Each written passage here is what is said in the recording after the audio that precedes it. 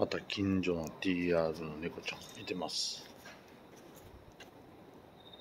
雨降ってきた。今日は雨やなこれ。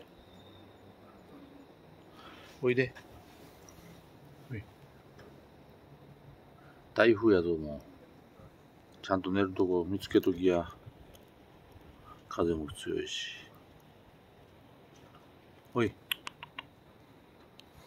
こんな子。